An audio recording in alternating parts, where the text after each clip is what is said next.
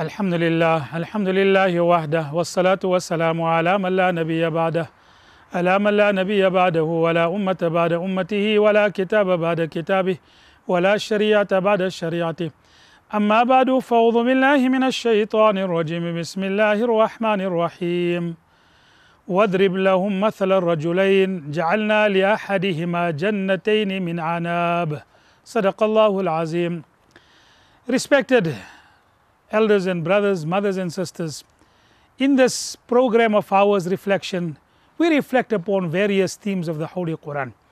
And today, there is an ayat and there is a ruku actually that I want people to reflect upon. And this is in Surah Kahf. And Surah Kahf is a very significant surah of the Holy Quran. It is right in the middle of the Holy Quran. And it is a surah that Nabi Kareem Sallallahu has emphasized its recitation, especially on Friday, saying, Whoever recites Surah Kahf on Friday, it will be a means of goodness and it will be a means of nur for him from this Friday till the next Friday. Allah will protect him. So, respected viewers, make it a point in our schedule to be able to recite Surah Kahf, especially on Friday. Inshallah, Allah Ta'ala grant us the ability to be steadfast upon that. In Surah Kahf, there is a ruku in which Allah Ta'ala draws a parable between two companions. And this is very interesting. واضرب لهم مثل الرجلين جعلنا لأحدهما جنتين من عناب وعففناهما بنخل وجعلنا بينهما زرعا One was a person who was extremely wealthy. And that time, the measurement of wealth was through the means of mostly orchards or animals or livestock.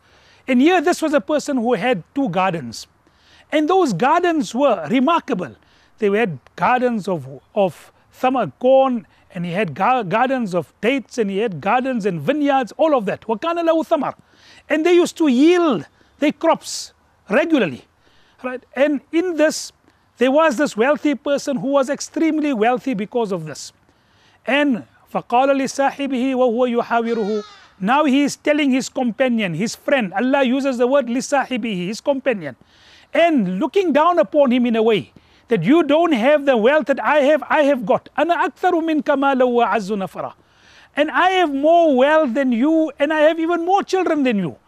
Allah has given me so much, or maybe not even referring it to Allah. I've just got so much because of my acumen, because of my skill, because of my fortune, because of how intelligent I am.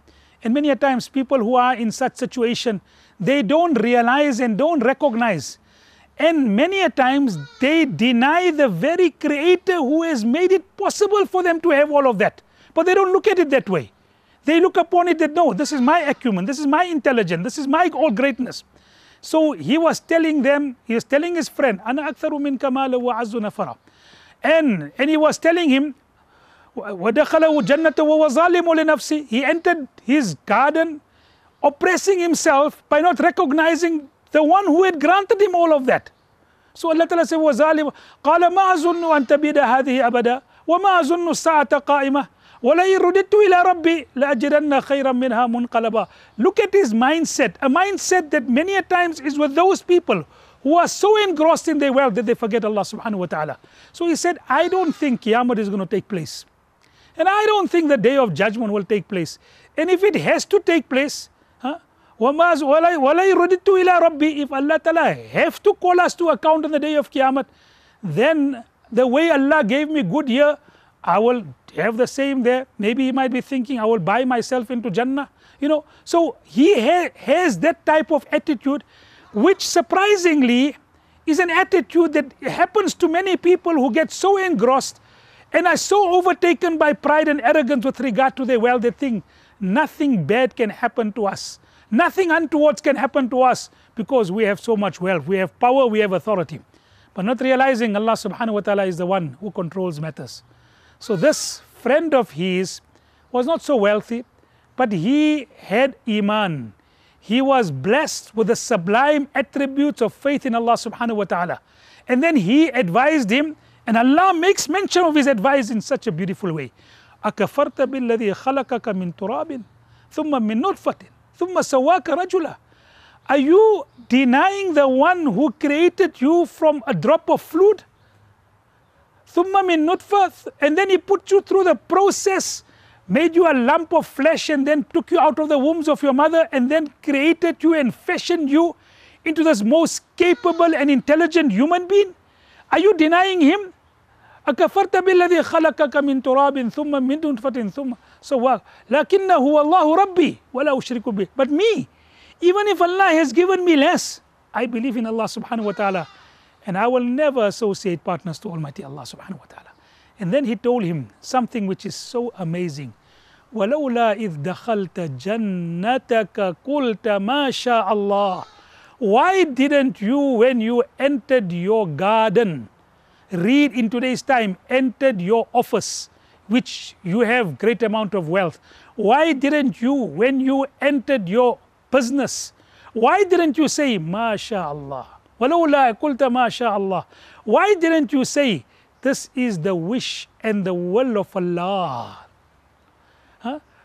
why didn't you say ولئن رددت إلى رب لاجرن خيرا منها منقلبا oh اكفرت بالله so Allah ما قلت ما شاء الله لا قوة الا بالله there is no power but Allah سبحانه وتعالى ولولا إذ دخلت جنتك قلت ما شاء الله لا قوة إلا بالله why didn't you say this is the wish and the will of Allah Ta'ala my dear respected you know viewers our life is between inshallah and mashallah huh? there used to be a shop in Karachi when I was studying inshallah, mashallah perfumers. And this is something very great. Whatever has happened, mashallah, it is what has happened according to the will of Allah. What is going to happen in the future? It is the will of Allah. This inshallah, we use it many a times in our sentences, in our conversation, but many a times to fib people away. To get people away who are putting some pressure upon us to do something, we say inshallah. Many a times it means in a negative sense.